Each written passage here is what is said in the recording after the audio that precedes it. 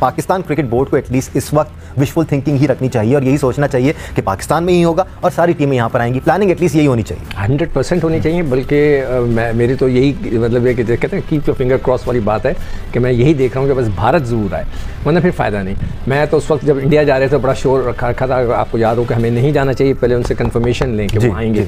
जब तक कोई ऐसी बैंक गारंटी के देंगे, अगर नहीं आएँगे तो 50 मिलियन डॉलर देंगे समथिंग लाइक दैट एक ले लेते बैंक गारंटी चल रही है कि इंडिया पाकिस्तान आ रहा है इंडिया पाकिस्तान आ रहा है। देखिए ऐसा आई विश के हो, लेकिन ये न्यूज़ नहीं है। न्यू- इंडिया पाकिस्तान आएगा, इसका फैसला करेगी इंडियन गवर्नमेंट और बीसीसीआई उसका फैसला चैंपियंस ट्रॉफी से पहले हो जाएगा, लेकिन अभी तक ऐसा कुछ नहीं। उनके तो गवर्नमेंट के कुछ लोग जो हैं, वो तो कह रहे हैं कि पाकिस्तान के साथ कोई क्रिकेट नहीं होगी जब तक पाकिस्तान टेररिज्म को प्रमोट करता रहेगा। आगे, अभी तो इंडिया क्रिकेट बोर्ड या इंडिया पूरा इंडिया इलेक्शन पे फोकस्ड है। इलेक्शन इंडिया में शुरू हो गए सही। हैं उन्नीस अप्रैल से शुरू हुए हैं और इलेक्शन छह सात मरहले में होंगे। सही। छह सात मराहल के बाद इलेक्शन खत्म होगा जून की पहले हफ़्ते में। सही। उसके बाद हुकूमत बनेगी। उसके बाद ये फैसला होगा कि अब बीजेपी की अगर हुकूमत बन जाती है जो बनी आ रही है पहले से फिर तो तो फिर फिर तो फिर तो नो।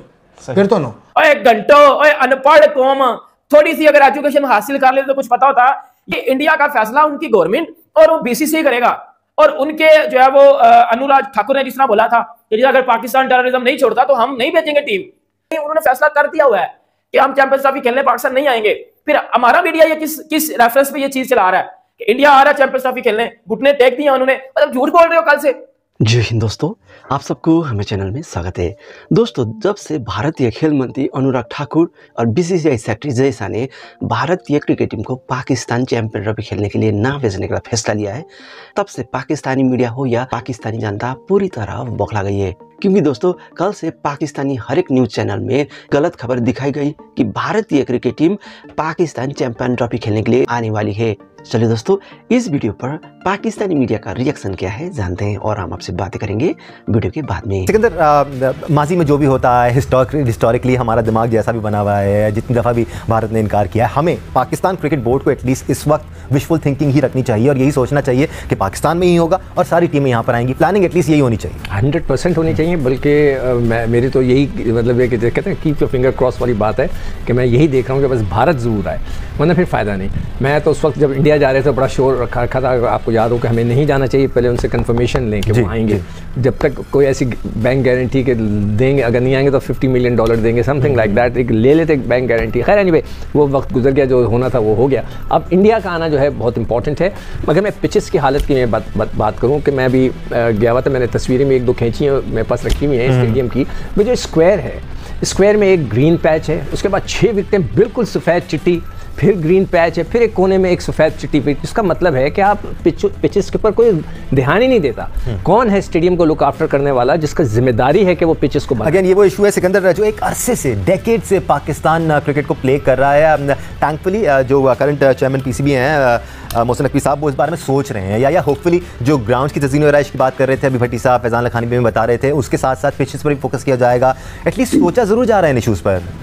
जी दानिश बिल्कुल ठीक कहा आपने और चैंपियंस ट्रॉफी पाकिस्तान के लिए बड़ा इंपॉर्टेंट है क्योंकि 2009 में भी हम चैंपियंस ट्रॉफी को होस्ट कर रहे थे। जी, जी। लेकिन अफसोसनाक वाकई की वजह से वो चैंपियंस ट्रॉफी जो है वो साउथ अफ्रीका शिफ्ट हो गई थी।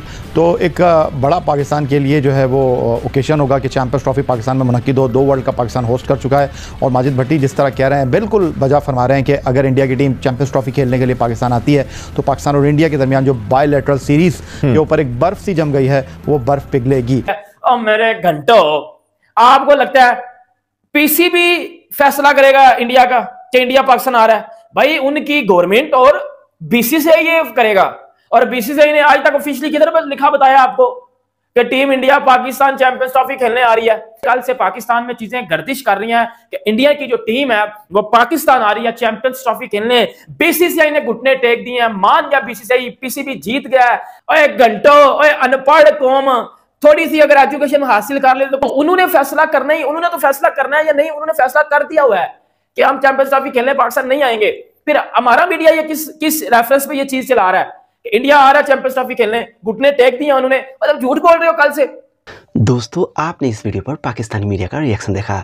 दोस्तों, जब से भारतीय खेल मंत्री अनुराग ठाकुर और बीसीसीआई सेक्रेटरी जय शाह ने भारतीय क्रिकेट टीम को पाकिस्तान ना भेजने का ऐलान करिए। यानी फैसला लिया है, तब से हर कोई Pakistani media live TV show में बैठकर बुरी तरह रोने लगे हैं। दोस्तों, कल से हर एक पाकिस्तानी न्यूज़ चैनल में एक गलत खबर दिखाई गई कि भारतीय cricket team Pakistan champion trophy खेलने के लिए ज़रूर आने वाली है। लेकिन दोस्तों, हम सबको मालूम है, भारत पाकिस्तान चैंपियन ट्रॉफी खेलने के लिए कभी नहीं जाने वाली है। दोस्तों, आपको क्या लगता है, भारत चैंपियन ट्रॉफी खेलने के लिए पाकिस्तान जाएगी या नहीं कमेंट कर ज़रूर बताएँ। अगर आप हमारे चैनल में पहली बार आए तो चैनल को सब्सक्राइब करिए और वीडियो पसंद आए तो वीडियो को लाइक शेयर और कमेंट करना ना भूलिएगा। चलिए दोस्तों, अगले वीडियो में फिर आपसे ज़रूर मुलाकात होगी। तब तक के लिए जय हिंद और भारत माता की जय।